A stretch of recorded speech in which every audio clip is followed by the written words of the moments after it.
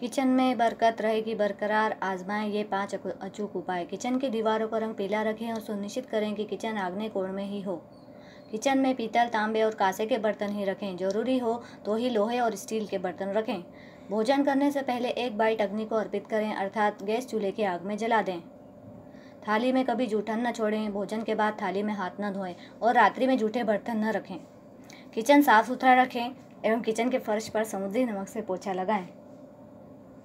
इसी तरह की जानकारी हेतु मेरे चैनल को सब्सक्राइब करें और बेल बटन को दबाना ना भूलें।